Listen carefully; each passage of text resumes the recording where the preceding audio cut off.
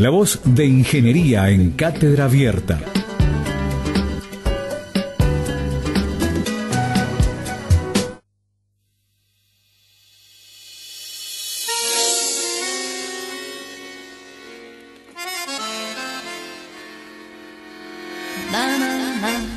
Esa cortina de fondo ya la presentamos a nuestra compañera de La Voz de Ingeniería. Se trata de la doctora Belén Canavire. Muy buenas tardes, bienvenida nuevamente a esto que se ha denominado La Voz de Ingeniería y ya con invitados aquí en el estudio.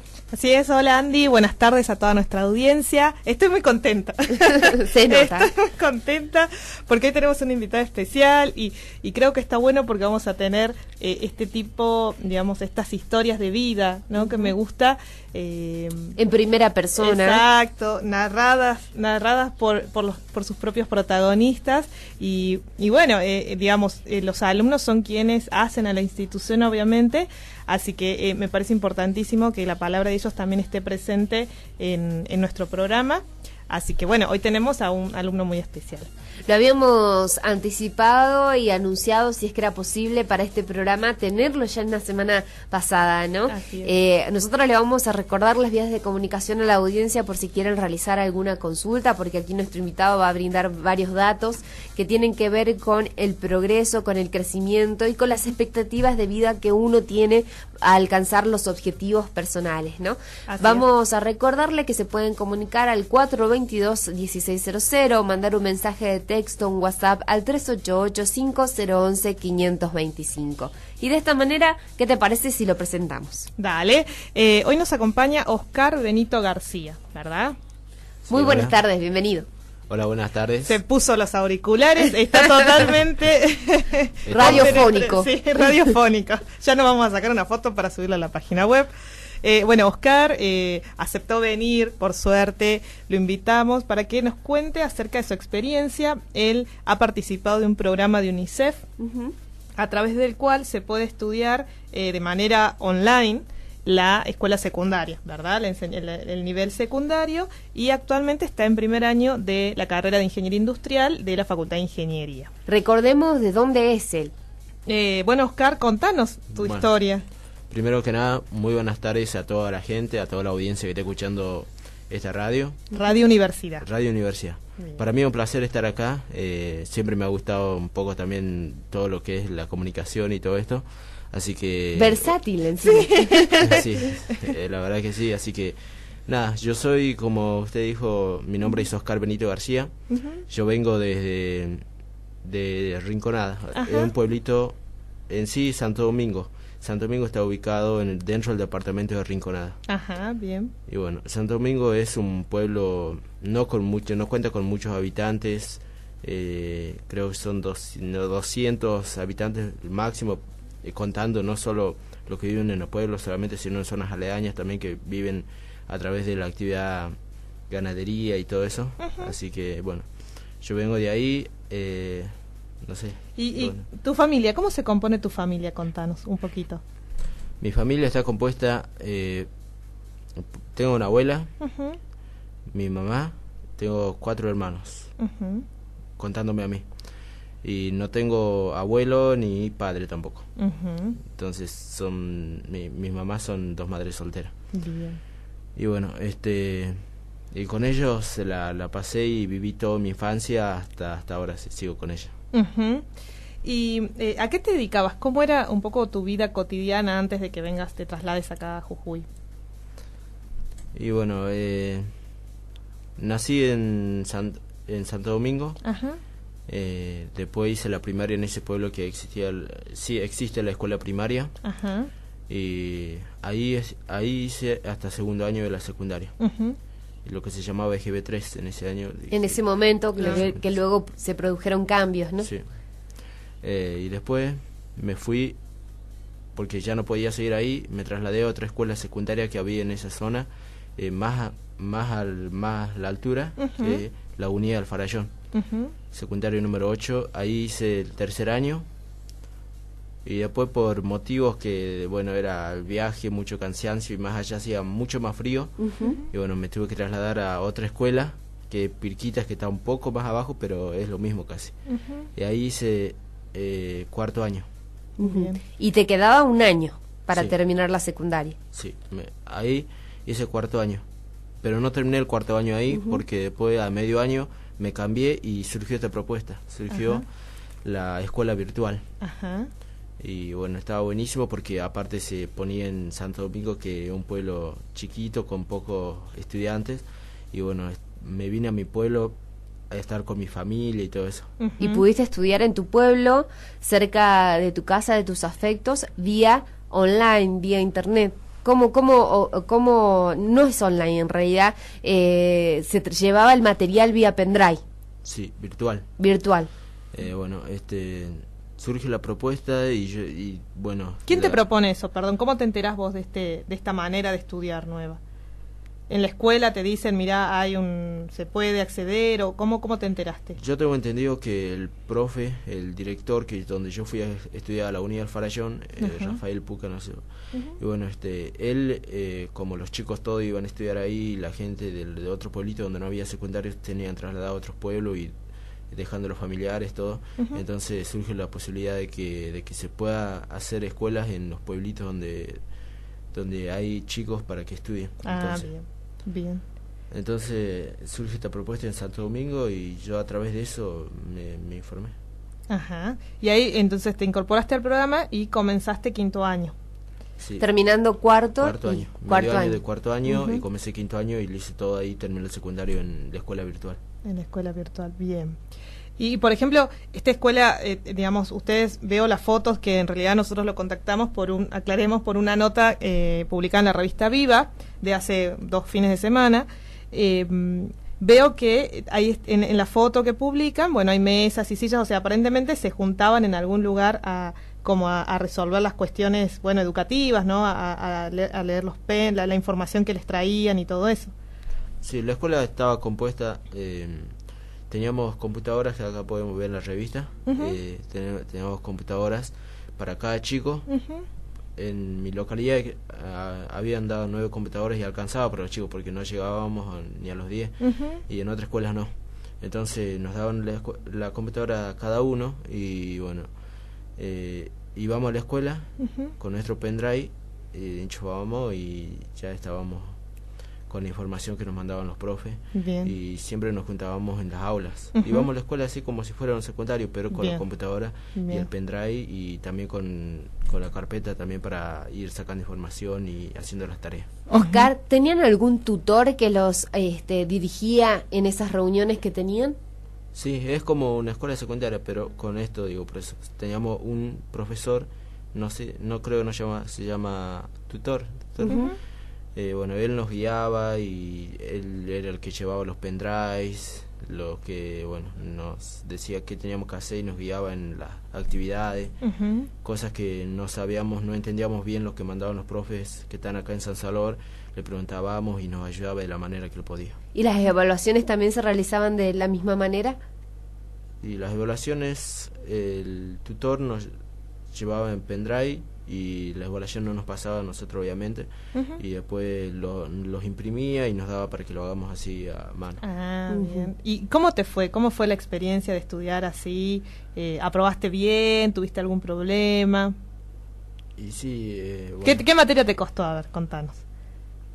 Y las materias más pesadas para mí siempre fue un poco las ciencias literarias, lengua, leer y todo eso. Ciencias sociales. Sí. Por eso eligió ingeniería. bueno, porque hay que contarle a la audiencia, eh, Belén, que justamente lo tenemos aquí a Oscar, porque hoy también sigue dando sus pasos en la educación, no se quedó terminando únicamente el secundario, sino que hoy es estudiante de la Facultad de Ingeniería, aquí en San Salvador de Jujuy. Así es. Una vez que terminé el secundario en la escuela virtual, me vine para, para San Salvador a continuar con mis estudios y bueno, elegí ingeniería porque creí que, que puedo ser capaz para llevar y salir adelante con este con esta carrera. ¿Y quién te informó acerca de que acá existía eh, la universidad, de que existían facultades, de que se podía estudiar ingeniería? ¿Te acordás? Bueno, eh, yo me entero a través de, mi hermano, tengo un hermano mayor. Eh, bueno, él había intentado ingresar acá a la facultad y, bueno, intentó y no pudo.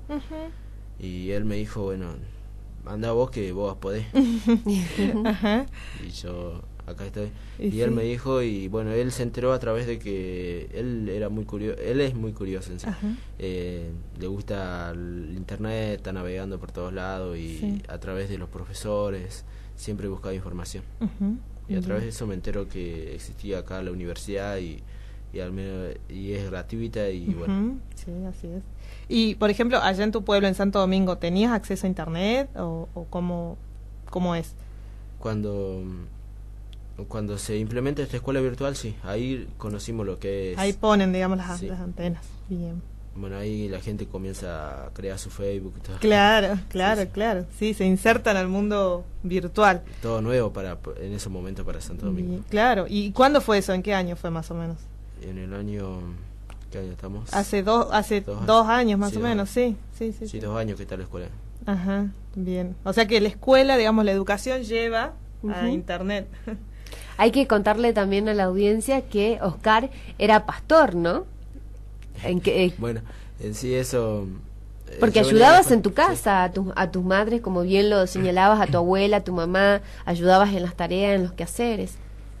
¿O no? Sí, sí, sí. lunes y viernes a la escuela así todo tranqui, como todo alumno. Y después los fines de semana eh, no me quedaba ahí en Pueblo Santo Domingo, me iba me caminaba dos horas para ir a visitar a mi abuela, porque mi abuela no vive en sí en el pueblo. Ajá. Y mi abuela ahí cría en sí ovejas. Ajá. Yo la ayudaba los sábados y domingos a, a pastarlo. Claro, claro que sí. Sí, como que en su tiempo libre y bueno, él, él, él iba eh, él iba a colaborar. El amor hacia la abuela, ¿no? Lo más lindo del mundo que puede existir. Ahora se le extraña muchísimo. Claro que sí, claro que sí. Bueno, ahora ya vamos a conversar acerca de su nueva vida, ¿no? De, la adaptación acá a la capital, que debe ser, les debe parecer un poco todos medios locos, porque me imagino el silencio, si algo que caracteriza a nuestra puna es el silencio, eh, bueno, la paz que todos buscan. Y, bueno, debe extrañar un poco eso acá con tanto ruido. Y lo más lindo que me parece de, este testimonio, de escucharlo a Oscar, es las ganas y eh, de alcanzar los objetivos, ¿no? Y de querer seguir estudiando, eh, atravesando todas estas barreras, ¿no? Porque no es eh, fácil poder estar en una localidad donde tenés que caminar, pasar frío, ir hacia otro lugar, hacia otro pueblo lejos de tus afectos, para terminar en esa etapa recién el secundario. Luego nace esta oportunidad vía escuela virtual, pero ahora también dejando los afectos para seguir una carrera universitaria, ¿no? En un ratito queremos que nos sigas contando, Oscar, acerca de tu nueva vida aquí en San Salvador y eh, porque vamos a ir a un tema musical, regresamos con el boletín, la tanda y por supuesto vamos a continuar más con la voz de ingeniería aquí en Cátedra Abierta. Estás escuchando La Voz de Ingeniería en la 92.9 Radio Universidad.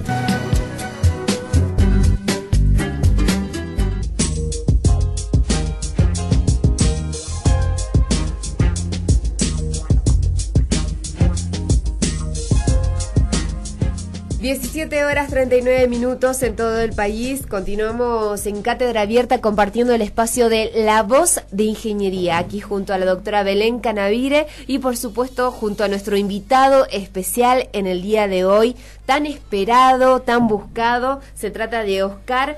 Eh, Benito García, él es estudiante de primer año de la carrera de ingeniería y nos está contando su experiencia porque él es de una localidad de Santo Domingo de Susque.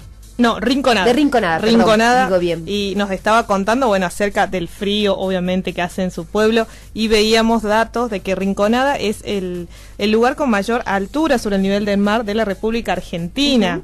Así que imagínense lo que es vivir en esas condiciones. Bueno, uno nace ahí, ¿no? Ya por ahí no, para nosotros sería como, como difícil, digamos, él, él seguramente ama su pueblo y lo debe extrañar un montón. Pero de ahí viene Oscar a contarnos esta historia eh, bueno, muy emotiva sobre todo. Eh, ahora nos gustaría que, nos cuentes cómo te está yendo en la facultad. ¿Cómo te fue en el ingreso? ¿Cómo, eh, si pudiste rendir? ¿Si te pareció Eh, ¿Cómo te pareció el, examen, digamos, y, la vida universitaria ahora, actualmente? Eh, bueno, eh, como dije, estamos yendo así como, como todos chicos, creo yo. Estamos, porque es nuestro primer año y nos está costando un poquito, pero de todas maneras estamos llevando como, como se puede y haciendo todo lo posible, obviamente. bueno, ingresé cuando, este año, obviamente, este, cuando hice el curso de ingreso, me venía a todas las clases, después de una vez que... ¿En febrero hiciste el curso o el año pasado? En febrero. En, febrero. Bien. En febrero hice el curso, después eh, aprobé y ingresé y acá estamos. Ahora, Oscar, yo te quería hacer esta consulta. ¿Cómo elegiste ingeniería? ¿Te gustaba? ¿Sabías ya algo acerca de eso? Ingeniería... ¿O la vas descubriendo en el transcurso de las materias que que, vas cursando. Eh, sí, lo voy descubriendo y también sabía un poquito, o sea, más o menos sé que está relacionado con la matemática y todo eso. Y por ahí en la secundaria yo más me, destacaba en las materias de la ciencia exacta. Y bueno, por eso es que elegí esta carrera también. Bien. ¿Y a, ¿Y a, vos qué te parece que hace un ingeniero industrial o por qué quieres ser ingeniero industrial? ¿Cuál es, cuál es tu idea para el futuro? y no sé, a través de eso conocer el mundo, ir creando proyectos y más que nada sin olvidarme de, de donde yo vengo, ayudar a, al pueblo de Santo Domingo y eh, ayudar a mi familia y yo creo que que ah, si me propongo y me esfuerzo se va a poder. Qué lindas palabras. realmente me, me, me, conmueve escucharlo porque por ahí, digamos, uno, uno ve tantas cosas, ¿no? En la vida diaria y, encontrar un ejemplo de alguien joven. ¿Cuántos años tenés, Oscar? Eh, en junio cumplí 18. Mira, tiene 18 años y que tenga esa, sí, esa convicción, ¿no? De, bueno, de, de, cumplir un sueño, de ayudar, de viajar, que bueno, seguramente esta carrera te puede permitir eso. Como le comentábamos recién también, ahora existen muchas becas Así que bueno, sí, eh, por suerte eh, se puede viajar, aunque uno por ahí crea que es imposible. Y destacar también, Belén, de que eh, él hace uso y ya está comprometido, ¿no? Porque hablemos acerca de que la Argentina, nuestro país, tiene esta oportunidad que se le brinda a los estudiantes de la educación pública y, gratuita, ¿no? Y eh, justamente él ya en sus palabras en primer año está diciendo que quiere ayudar, no olvidarse de su pueblo Santo Domingo de Rinconada y ese compromiso que uno adquiere en la universidad luego de haber estudiado gratuitamente es devolverla a la sociedad, ¿no? A su propia comunidad lo que ha aprendido, ¿no? Y eso es lo valorable, que por eso es también que lo queríamos tener aquí en la voz de ingeniería para contagiarle este espíritu emprendedor, este espíritu eh, de luchador, yo creo que es un luchador. Eh, y que quiere salir adelante y sobre todo que tiene proyectos, porque en la vida hay que tener proyectos, pensar hacia futuro, ir concretándolos eh, pese a las adversidades, ¿no? Siempre salir adelante y eso es lo más lindo porque también nos contaba aquí Oscar que tiene un hermano que está estudiando aquí en San Salvador Derecho y seguramente él también ya con su experiencia se debe haber enfrentado a muchas situaciones, pero sigue estudiando. Sí, es así. Como usted dice, lo dijo claramente. Y bueno, hay que seguir para adelante. ¿Y cómo te va en la adaptación en Jujuy? ¿Te gusta? ¿En la facultad? ¿Te gusta? ¿No te gusta? Y bueno, eh, yo como soy de allá tuve pocas posibilidades de visitar acá San Salvador, pero sí vine unas que otras veces, venía a hacer algunas compras y eso. Eh, y primero, cuando vine en el mes de febrero, eh, nosotros estamos alquilando ahora con mi hermano, estamos alquilando ahí en el barrio centro. Y bueno, primero es como que cuesta adaptarse, es algo obvio para mí, eh, cuesta adaptarse a, algo nuevo, ¿no? Porque allá no tenemos todo lo que es eh, tanto, a, tanto movilización y todo eso. Y bueno, eso es lo que cuesta y más que nada extrañar, porque se extraña muchísimo a la familia, a los amigos que dejas allá. Y bueno, pero en, la nota esta que diste a la revista Viva, eh, bueno, mencionan que sos como un ejemplo para tus amigos, seguramente eh, tus compañeros de la escuela deben decir, uy, Oscar está en Jujuy, está estudiando, va a ser ingeniero. Me parece que es un, orgullo para tu familia, seguramente, para tu mamá, para tu abuela, eh, que, que, hagas este esfuerzo y que, y que luches por lo que querés. Bueno, allá en Santo Domingo todos mis amigos también se proponen esto, venir acá a estudiar a San Salvador, no exactamente ingeniería, pero en otras carreras también están ellos, vienen y dejan y no sé si, si sufren igual que yo, no, no sé si es sufrir, pero eh, sí pasa lo mismo que yo. Claro, es que es, es un esfuerzo, digamos, es, eh, además de, digamos, además de tener que aprobar las materias, venir y cursar, hay que adaptarse a la vida y, y bueno, es, es, es difícil, ¿no? Es todo un proceso que, que bueno, te deseamos muchos éxitos. Así es.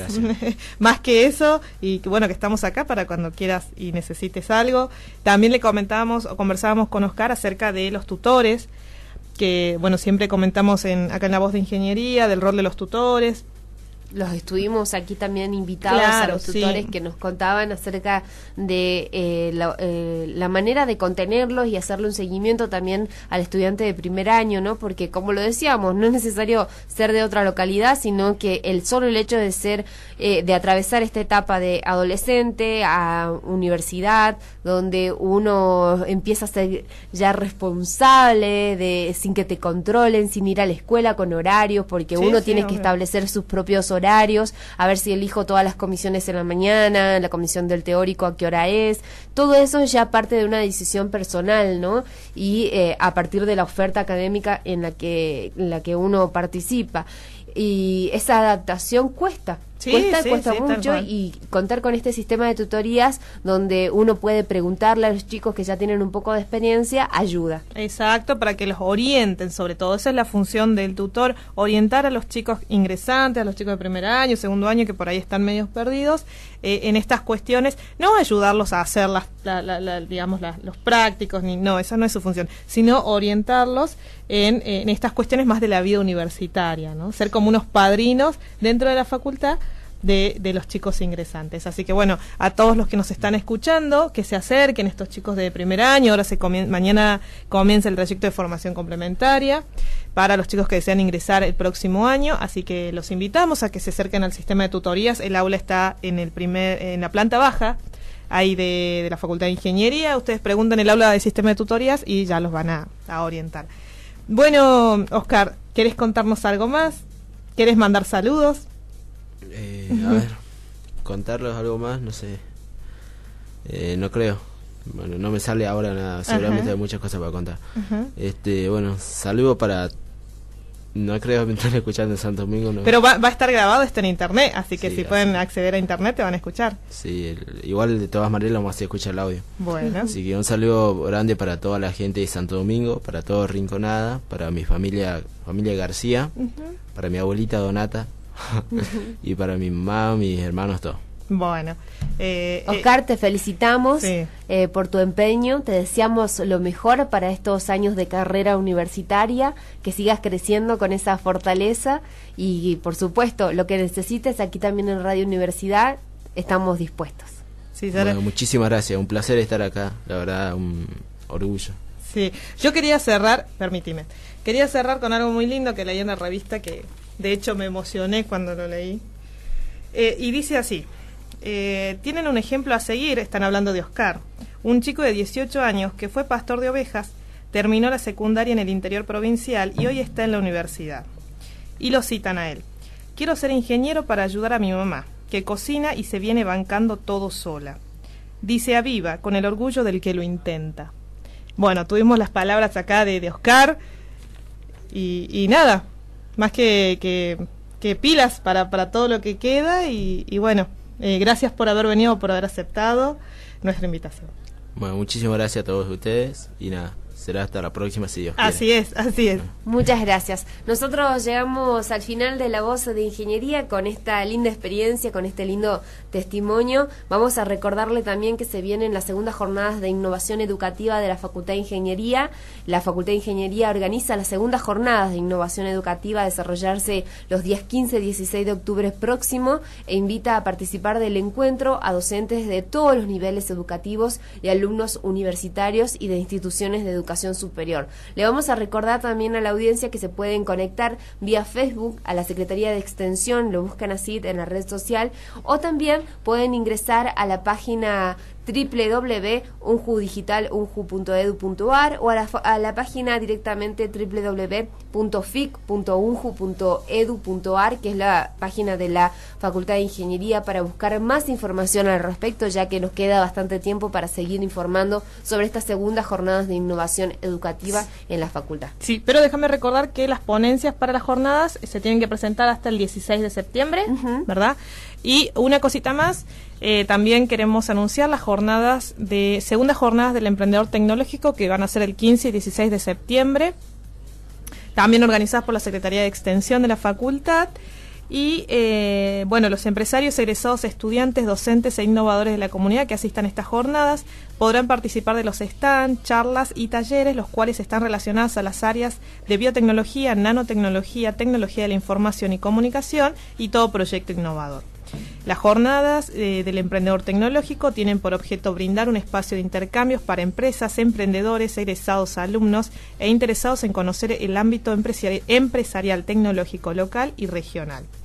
Bueno, se pueden descargar los links y las bases para participar de las jornadas desde la página web de la facultad. Y, y bueno, si no, contactarse a jornadas.fi.unju.gmail.com. Muy bien, de esta manera llegamos al final de la voz de ingeniería de cátedra abierta aquí a través de Radio Universidad 92.9. Nos vamos con un tema musical, ¿te parece, Belén? Dale, cerramos con música este programa especial.